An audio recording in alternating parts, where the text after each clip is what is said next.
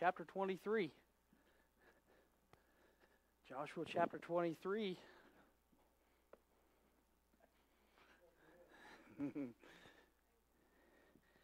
I'm thankful for all of our all of our substitutes and our fillings. Did everybody get a paper? No? Roger. Roger failed. We're gonna we're gonna we're gonna excommunicate Roger. He he asked me before church, you want me to pass out them papers? I said yes. He didn't pass out a one. All right. All right, if you want one, he's coming around. He'll get you one. And while he's coming, I'll uh, I'll give you a praise real quick as well. But I was like I was saying, I was thankful for all the uh, all of our substitutes and our fill-ins this morning. We had many positions that people were out, and uh, people just jumped right up to the plate and helped and stepped up, and we're thankful for that. Good to see Ben up here singing. I thought that was great. so uh, we'll uh, we'll conjure him into it again one of these days and get him up here. But uh, he uh, he was willing, so but he did a good job. So. Um, anyway, so if you're ever asked to fill in, you say yes, it is a blessing for sure. If you say no, God will get you. But uh, I'm kidding. But uh, amen. It's always a blessing to serve the Lord together. So we're going to conclude tonight. That's a big word. That means finish. Uh, we're going to finish our series tonight on claiming our Canaan. We've kind of gone through the book of Joshua, not verse by verse, not even every chapter, but we've took out some, uh, uh taken out some very big events that took place uh, during that time. And so we're going to close tonight with uh, chapter 23, a little bit of chapter 24.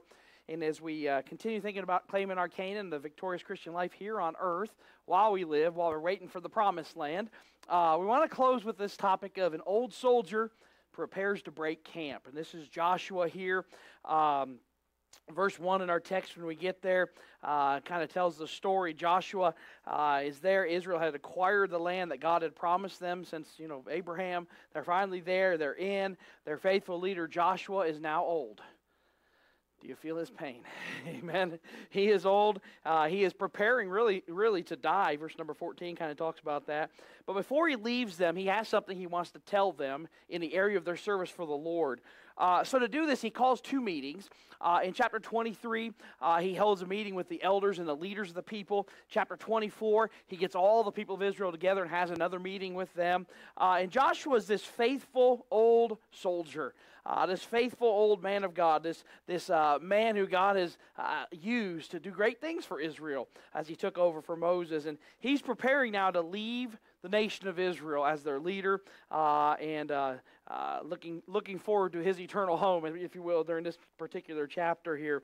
but he knows that uh, he has seen, as the people there have, uh, God do so many great things. He saw him brought him out of bondage. He, he saw him uh, safely lead him across the wilderness, part the Red Sea, part the Jordan, all the miracles that they witnessed. Joshua was a part of that. But Joshua was smart enough as a leader to know this. There was a generation following him that didn't see those things. Uh, that didn't see the Red Sea part. They didn't know, hey, we were in bondage for all those years and God gave us man. They, they didn't see all that stuff. And Joshua knew this as a leader, so he calls these people together to say, hey, I want to remind you of some things. You need to stay faithful to God because God stayed faithful to us. And, and so he does a great job, I think, in the closing of his leadership uh, to just say, I'm going to give you some, some thoughts and some teaching and some lessons to help you stay close to God, serve God, and remember what God has done. And as we look at these things tonight, again, they're, they're great parallels for us tonight. Uh, they're, they're very helpful for us to be able to look at tonight and realize uh, we have to keep God's work alive. And if we're not careful, even as a church, uh, there's a generation coming. And I'll be honest with you, there's a generation coming that has not seen the miracles of God that we've seen, have not experienced the power of answered prayer like we have. Uh, well, that's the old. That's for the old people.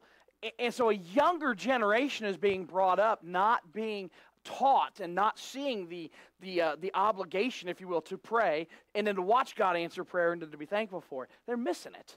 And so Joshua knew this back in Israel's day, so he covers a few things, and I want to cover them with us tonight to kind of help us to remind. Eventually, you're going to be the old soldier.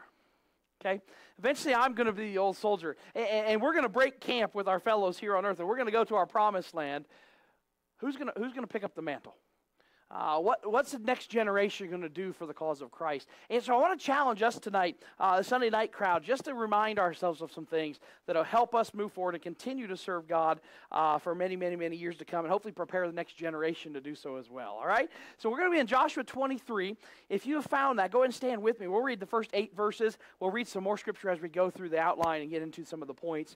But let's pick up verse number one here. We'll read the first eight verses, and I'll pray and you can be seated.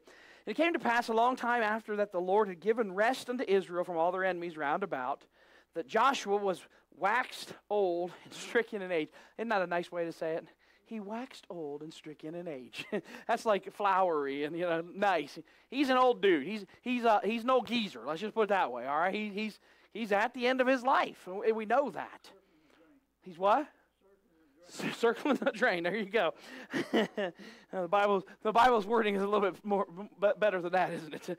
Uh, and Joshua called for all Israel, and for the elders, and for the heads, and for the judges, and for their officers, and said unto them, I am old and stricken in age. And ye have seen all that the Lord your God hath done unto these nations because of you. For the Lord your God is he that hath fought for you.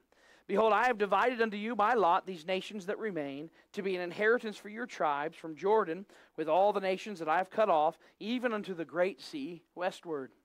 And the Lord your God, he shall expel them from before you, and drive them from out of your sight, and ye shall possess their land as the Lord your God hath promised unto you.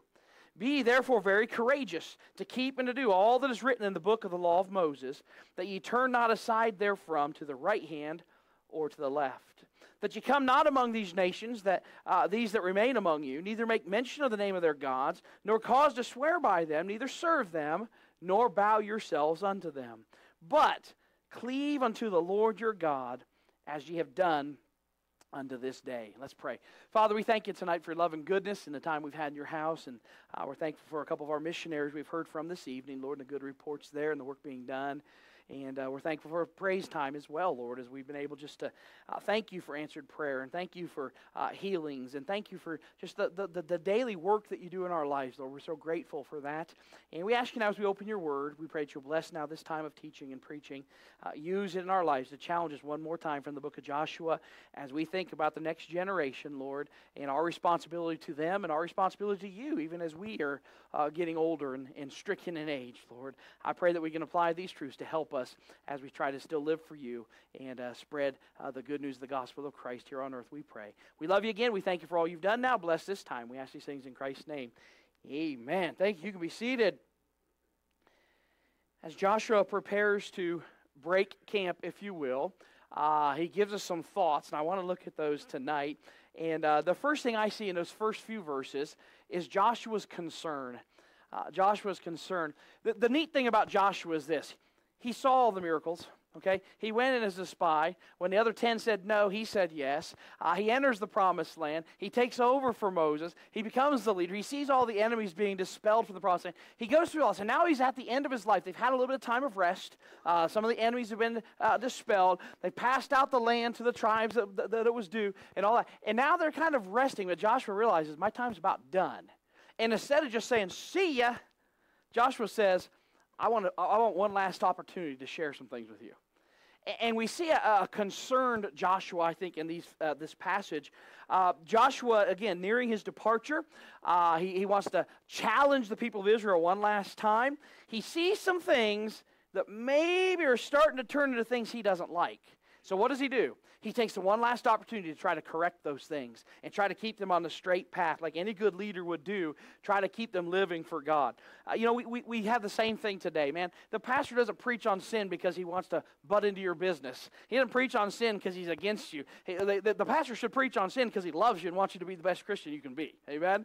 And that's kind of what we see from Joshua here in this passage of Scripture. He's not butting in at the end of his life. He's not, well, you're a bunch of buzzards and I'm the only thing that kept you doing right. He's saying, listen, there are some things that I'm seeing as the generations are changing. And I want to nip those things in the bud. I want to make sure we continue to serve God as a nation of Israel. Uh, so Joshua's concern, and I see three fears that he brings out in these first few verses that we read. The first one I see in verse number six, he fears complacency. He fears complacency. He's afraid that the people of Israel might begin to take the law of God for granted. Uh, he, he, fears that they might become complacent in their walk with the Lord, complacent in their status and in their relationship with their God. Now, I hate to say it, but he was right. Because as you continue to read about the nation of Israel, you see he was exactly right to be concerned for this because it's exactly what they did. Uh, he feared their complacency. Uh, sin, uh, it, it, sin is sin no matter what it is. And I'm going to just say this I think complacency is a very big sin. And I think the sin of complacency leads us to, uh, into many other sins that we may not realize that the two are connected. Uh, uh complacency, it's one of the most common sins. We allow ourselves, like Revelation talks about, to adopt the Laodicean philosophy and attitude. Uh, we'll just go with the flow. Oh, we don't, we don't want to be too on fire, but we don't want to be cold. We'll just walk in the middle of the road. Complacency complacency. We've allowed ourselves many times to get satisfied with our spiritual condition. I've been walking with the Lord this long, and this is where I don't ever be satisfied with your spiritual condition. We should always be moving forward. We should always be growing. And Joshua's uh, got a concern about this with the nation of Israel. You say, what's the, what's the thing with Laodicea?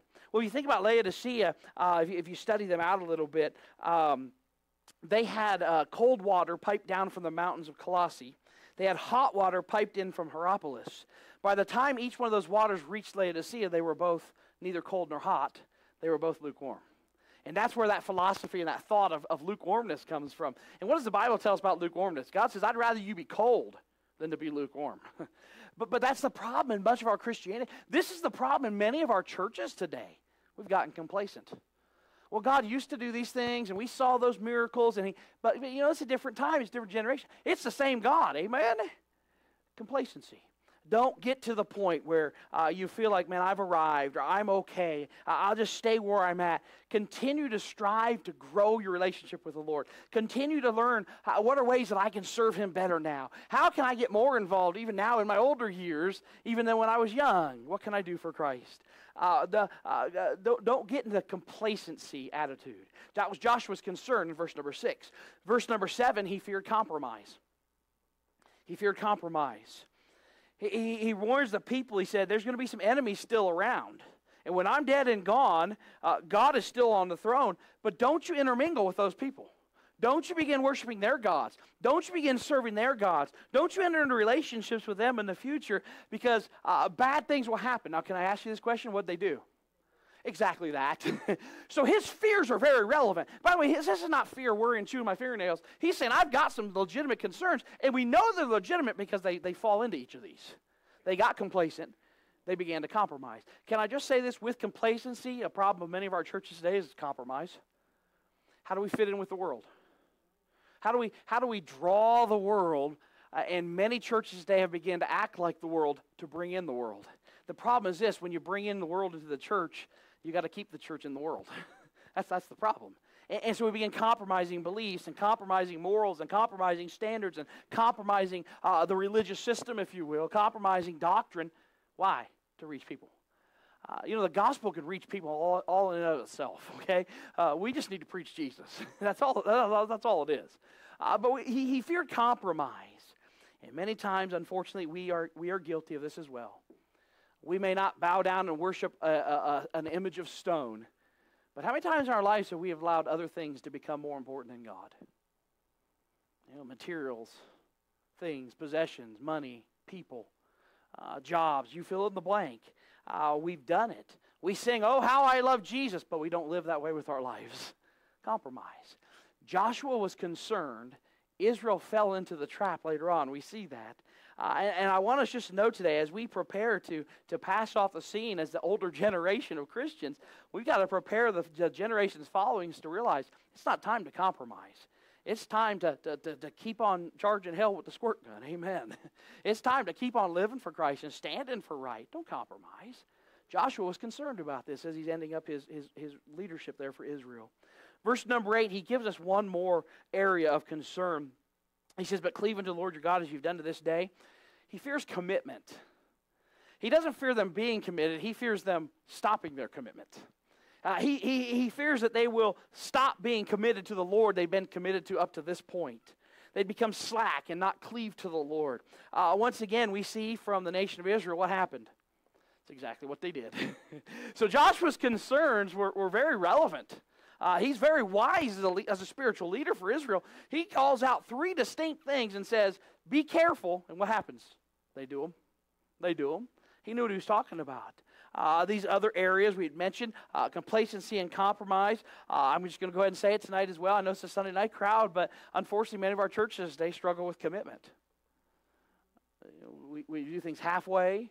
Uh, we serve God for one minute and stop the next.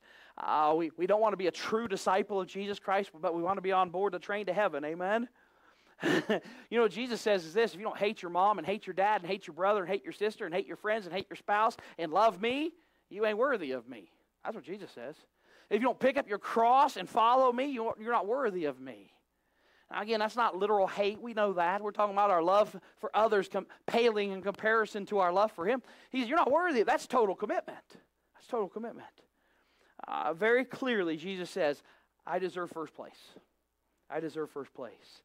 Am I willing to give him total commitment, holding nothing back, making sure I'm his completely? Joshua's concern was very valid. And as he's passing off the scene, he makes this known to the leaders. He says, Guys, God's been good to us. God's been faithful. We've seen answered prayer. We've seen the promises of God. We've seen deliverance. We've seen miracles. We've seen God's power. Don't you, don't you turn all that around. Don't you go back to your old ways. Unfortunately, they didn't listen too well, did they? they didn't listen too well. Joshua's concern. Number two, I'll show this to you here. I, I want to give you, um, you can write it down, we'll come to it in a minute, but I want to show you Joshua's challenge.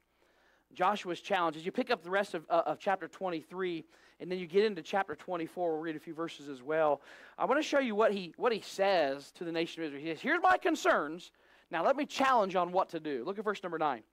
For the Lord hath driven out from before you great nations and strong, but as for you, no man hath been able to stand before you unto this day. One man of you shall chase a thousand. For the Lord your God, he it is that fighteth for you, as he hath promised you. Take good heed, therefore, unto yourselves, that ye love the Lord your God. Starting out pretty good, huh? Look verse 12. Else, if you do in any wise go back and cleave unto the remnant of those nations, even these that remain among you, and shall make marriages with them and go in unto them and they to you. Know for a certainty that the Lord your God will no more drive out any of these nations from before you. But they shall be snares and traps unto you, and scourges in your sides, and thorns in your eyes, until ye perish from off the earth, uh, until ye perish from off this good land, I'm sorry, which the Lord your God hath given you.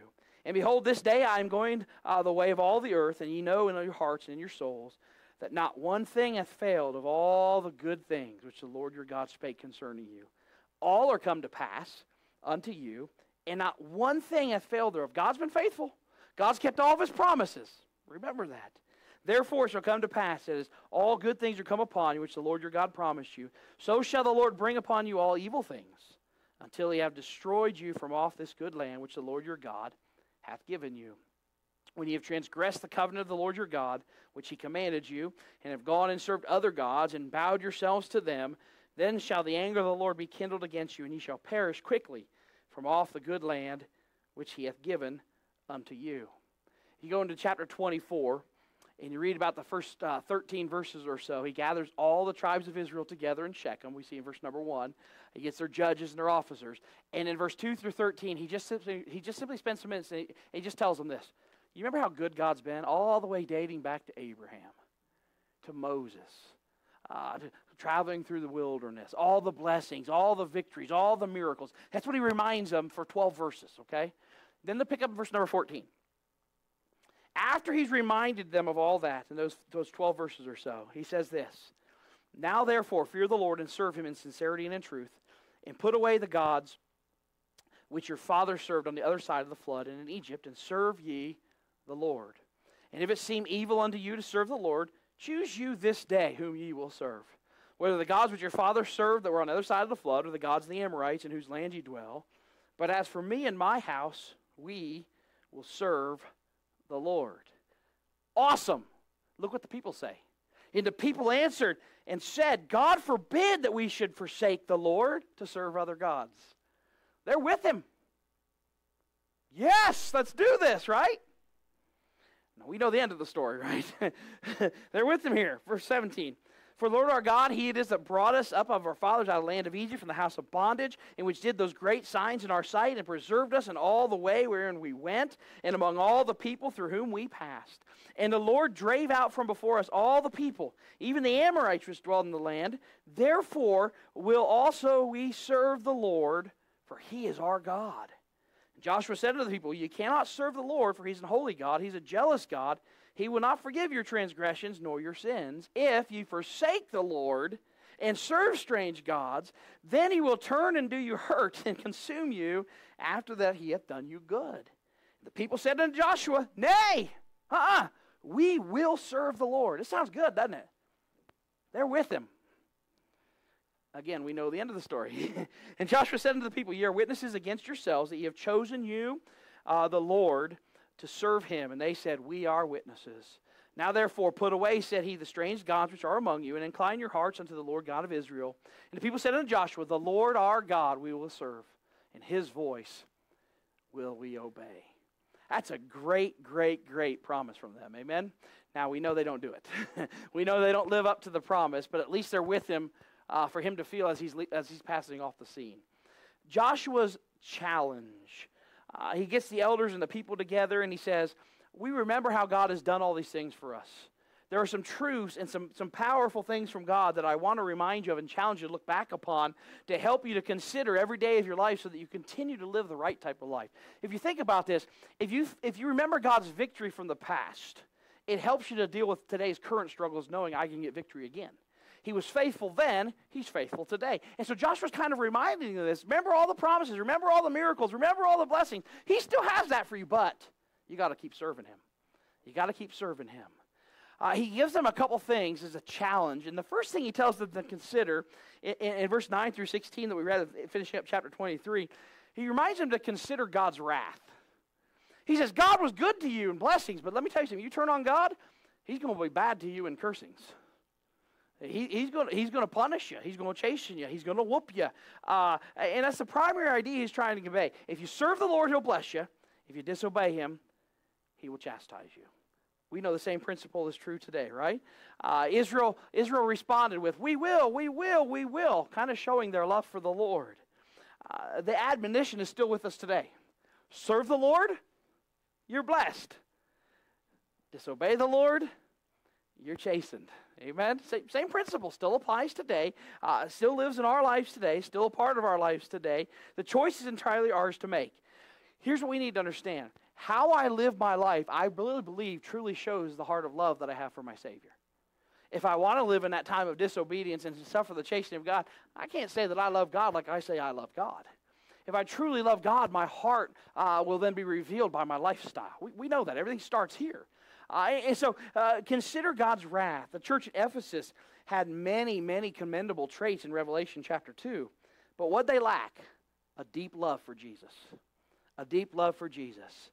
A life lived for Christ reveals a heart that's in love with Christ. Uh, and so he's reminding, he's challenging this. You better consider the chastening of the Lord. The second thing he tells them to consider in the first 13 verses or so of, of chapter 24 is God's works.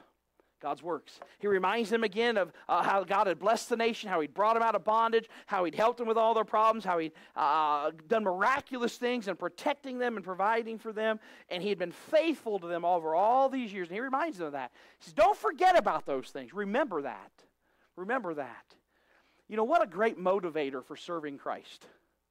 Remembering what He's done for us all the, all the days of our life. You, know, you truly stop and think about the day you got saved you didn't deserve that.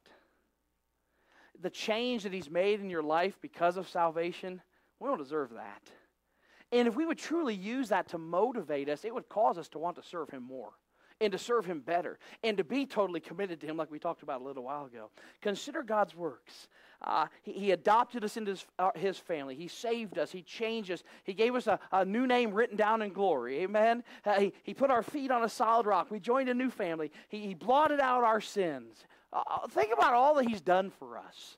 And then on top of salvation, how He continues to bless us in our daily lives. And we still don't deserve it. Consider God's works the greatness and the goodness of God towards us. It's a, it's a motivator to remind me daily to renew and to improve my relationship with Him. Joshua challenges the people. Remember God's wrath. Remember God's works. Those last few verses that we read from chapter 24, uh, uh, we, we see the, he, he them to consider God's will. Consider God's will. He tells the people it's the Lord's will. You clean up your life and you serve me faithfully. You don't worship other gods and you stay close to me. And he says in verse number 15, that's exactly what me and my family are going to do. As for me and my house, we will serve the Lord.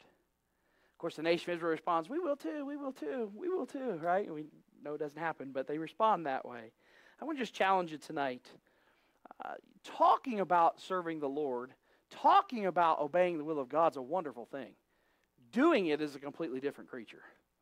Doing it is completely different. Uh, you know, he, he wants you to search in your life and search in your heart and, and destroy those things that are me, me, me instead of him, him, him.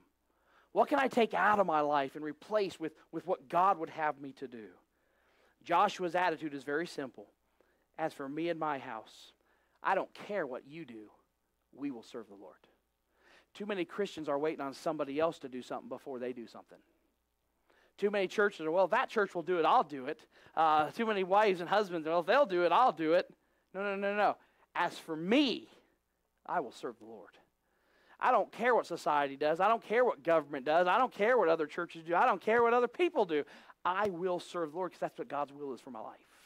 Serve the Lord. Serve the Lord. And so he challenges them to consider that the very last few verses that we read, 19 through 24, he gives them one last challenge, and he, can, he challenges them to consider God's witness. Joshua makes a strange statement to the people. He tells them, You can't serve the Lord.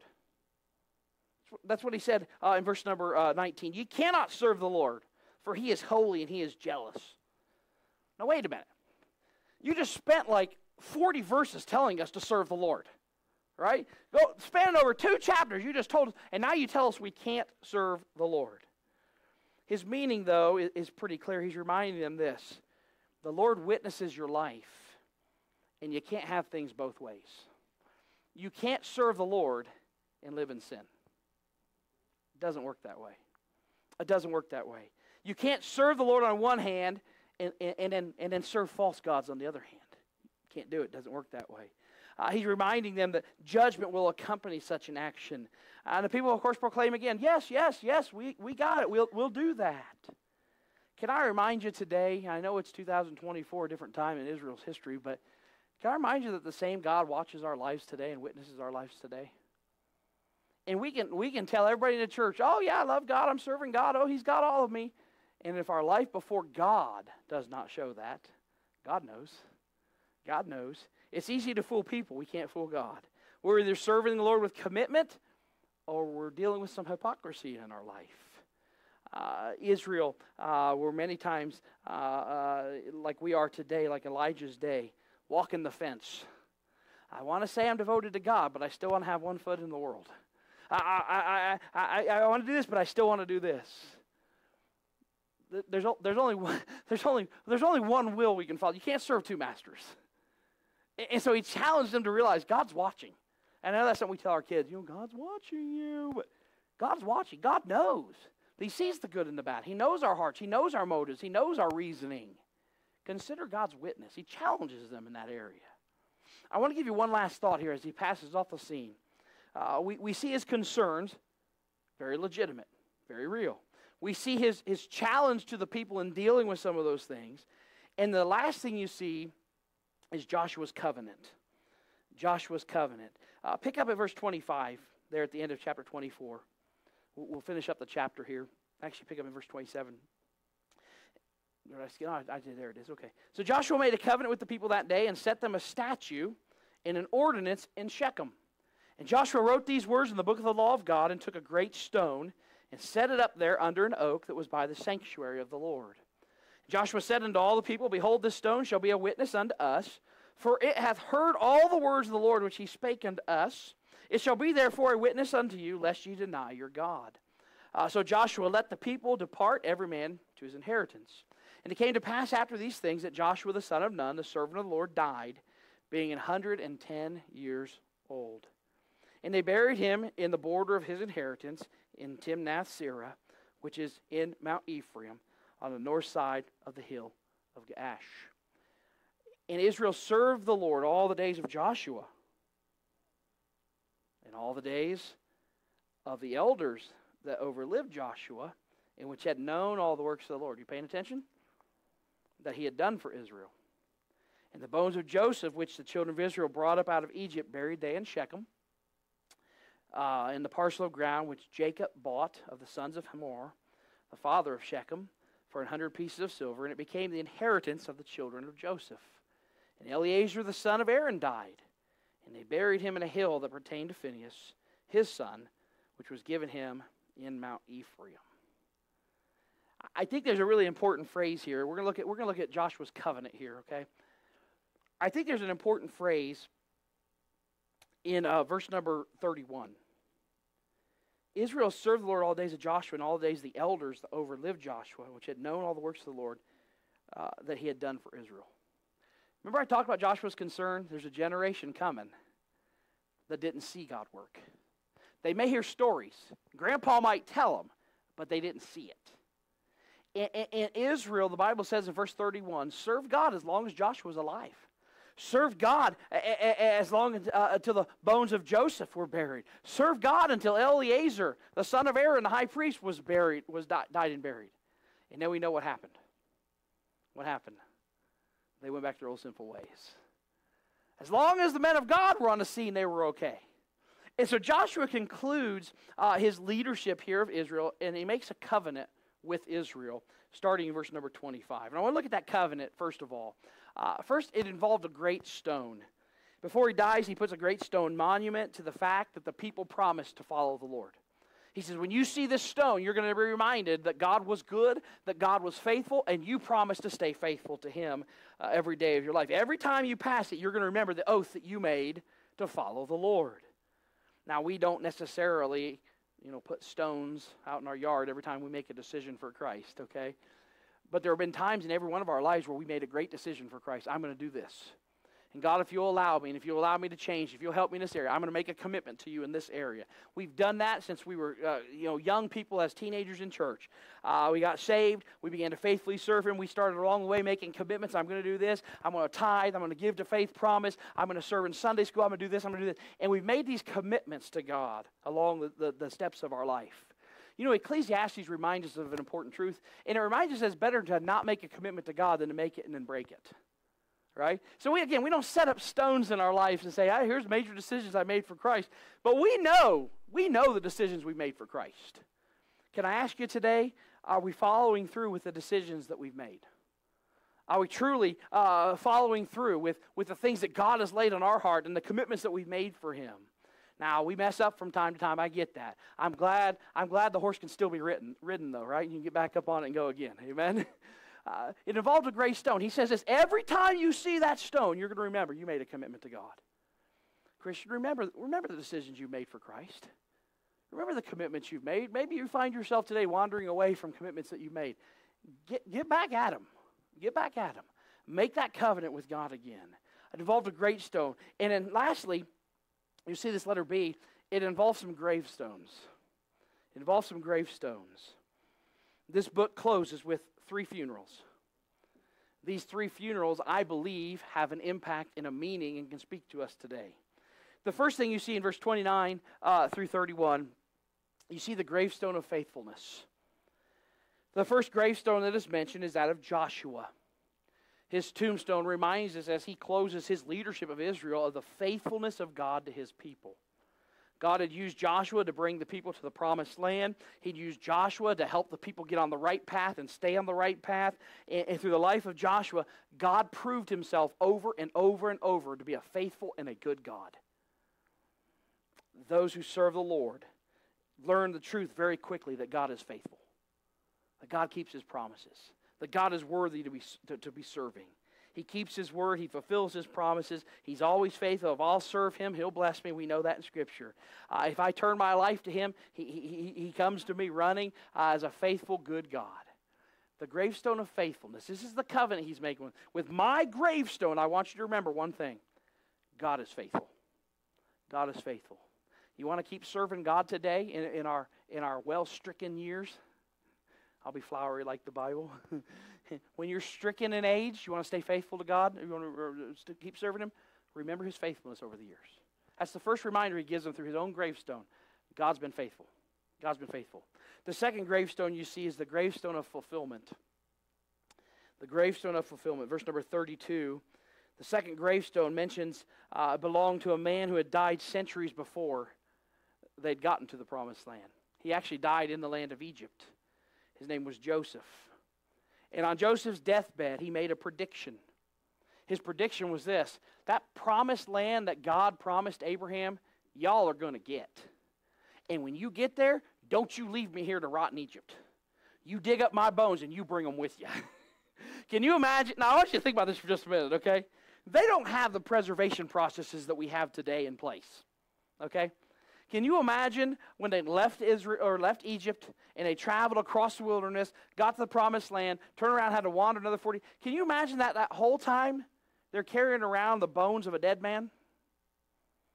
Think about that for just a minute. They're carrying around a dead man that entire time. Why? Because he said, I'm not staying in Egypt. You take me to the promised land. And, and so they brought him with him. And of course, we see in verse number 32, several hundred years later, a grave is dug if they had a coffin, I don't know exactly how it worked in those days, or they wrapped or whatever they did, it was lowered into the body, and, a, and a gravestone was put in place. I can almost imagine Joseph in his bones, in his dead, decomposing state. You could hear a whisper as they laid him into the grave I told you so. I told you so, you know. Uh, but, anyways, the lesson here is this if God's able to make a promise to us, God's able to keep the promise. And, and, Joseph said, Listen, God promised you the land. I know He's going to keep the promise. Take me with you. Bury me there. Fulfillment. Doesn't God always keep His word? Isn't that, isn't that encouraging? Doesn't God always take care of His children? That's a wonderful truth tonight. The gravestone of faith, of fulfillment, the gravestone of faithfulness.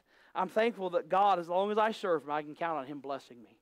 I can count on His protection, His provision in my life the gravestone of fulfillment. Here's, here's what you're going to learn real quick, and many of you probably already know this because you are well stricken in years.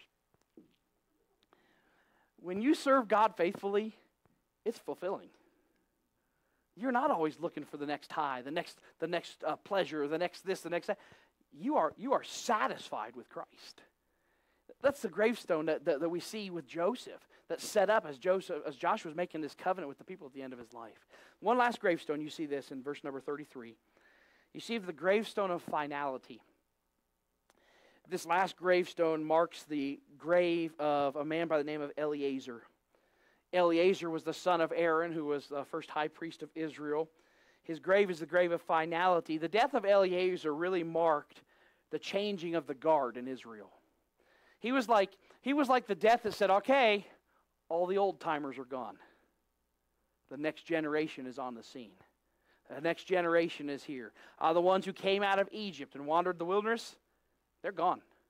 Uh, they're all dead and gone now. Of course, most of you know, the men that, that, didn't go in those 20, they all died anyways. Now the last of those who were faithful have passed off the scene.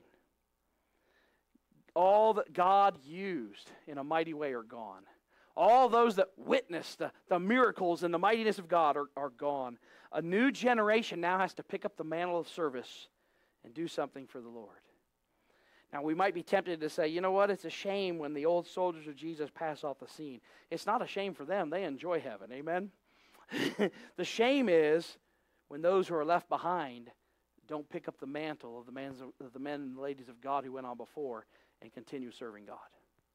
The shame is when we leave the next generation away from God instead of bringing them to God. The shame is when uh, me and my house will serve the Lord, but I won't pass it down to my children. I won't pass that down to my grandchildren. And before long, we're going to have a, a generation in America that there is no church. That's, that's, that's, that's the way things will head if we aren't very careful uh, in, in, in, serving God and teaching the next generation to do the same and staying faithful. You know, I, I think about Elijah. And when Elijah passed off the scene, I'm sure, I'm sure I'm thankful that there was an Elisha standing by. Right? Picked up the mantle, did twice as much as Elijah did, saw the power of God. We're thankful for that, right?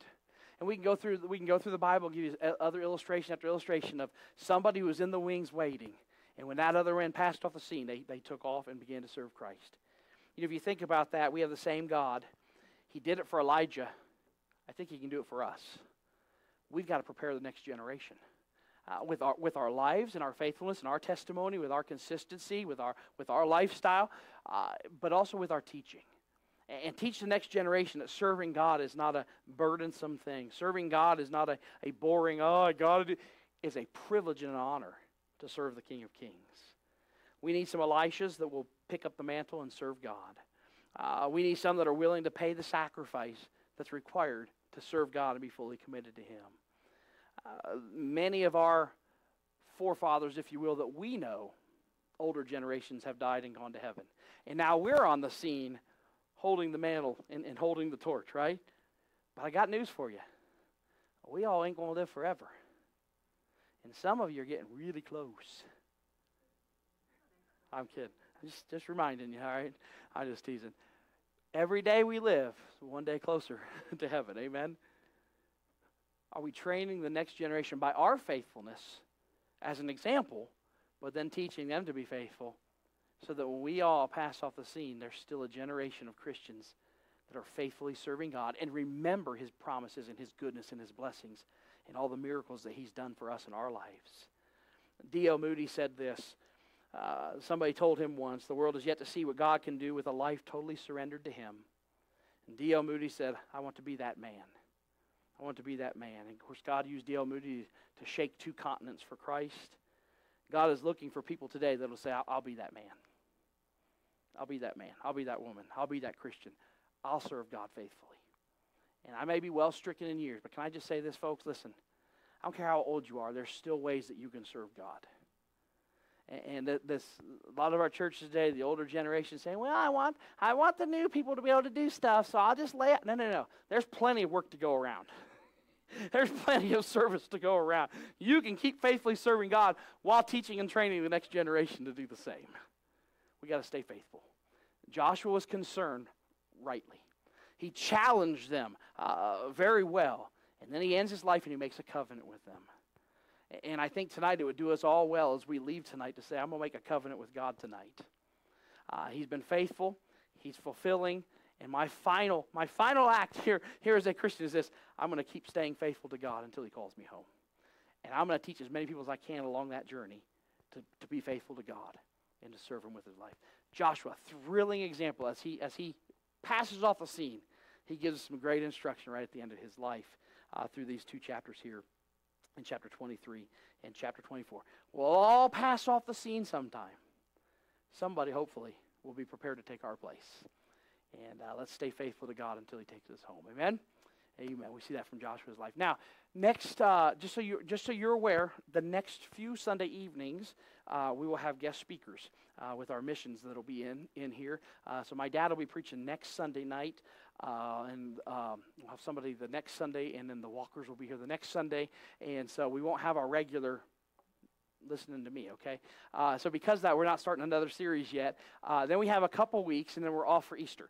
And so I, am not going to start a series or anything in between that and mix and bounce around that type of thing. However, coming back April, the first Sunday of April, uh, we're gonna we're gonna delve into the topic of real Christianity, uh, and we're gonna look at moving from just what people call religion to a real relationship. And I want to look at. We're going to spend some time looking at what the world thinks the problems with Christianity are, uh, how we can truly be a genuine Christian. And, and, I think it'll really be, if nothing else, it may not be exciting, but I promise you it will be challenging. And if you're looking to be a better Christian, uh, we'll start that series on Sunday nights, and I think it'll help every one of us uh, to be a better Christian for Christ and to be what the world would look at and say, that's a real. You know, they see enough. They see enough fake Christianity. Amen. And that's why when you invite people to church, what do they say? And there's hypocrites. Fake Christianity. How do we make it real? I'm not, and again, I'm not talking a label. I'm not talking a name. I'm talking about a heart. What does it look like to be a real Christian? So we'll look at that uh, starting in April. So I'm getting excited about that. I think it'll be a good, a good time of teaching through that. So we have our blanks filled in tonight. Yes. Praise the Lord. Even Alice got them. All right. Amen. All right. Let's pray. And uh, we'll be dismissed. Father, we love you tonight. We thank you again for your goodness, your blessings, your watch care in our life. Thank you for all that you do. You truly are a good God. Uh, you truly have been faithful. And Lord, we know that you bless us when we simply are obedient. And Lord, may we be reminded from these truths that are brought out from Joshua to Israel, uh, the, the, the, faithfulness of God we need to remember so that we continue to serve you. It ought to motivate us. Help us to remember the chasing of God when we disobey. Help us, to Lord, to be challenged tonight to consider these things we've mentioned. Uh, help us to consider these things so that we have a better relationship with you, so that we stay faithful, and so that we teach a generation, not just through our words, but through our lives, uh, what faithfulness to Christ really looks like. And Lord, may we reach the next generation and impact them uh, to be servants of Christ, Lord, we pray. We thank you again for now tonight. We thank you, ask you as we uh, go to our homes uh, that you will give us safety as we travel and uh, bring us back again on Wednesday, Lord, as we open your word and we, uh, we pray, Lord, and we meet together. We just pray to bless our service and help us to live for you now this week and shine our lights and, and share the gospel and the good news of Christ with people that we meet, we pray. We thank you again for, for this night. We thank you for all that you do. And we ask these things in Christ's name. Amen.